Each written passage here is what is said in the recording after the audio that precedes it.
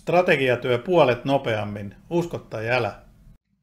Strategiatyötä voi nykyisin tehdä digivälineillä tosi tehokkaasti. Läpimenoaika vähintäänkin puolittuu. Erässä projektissa sairastuin ennen workshoppia, mutta ei hätää, etänä se onnistui erinomaisesti. Toisessa projektissa tehtiin strategiatyötä isolla porukalla, jossa ihmiset olivat eri puolilla maailmaa. Matka-aikaa ja rahaa säästyi reilusti. Tässä digityön resepti.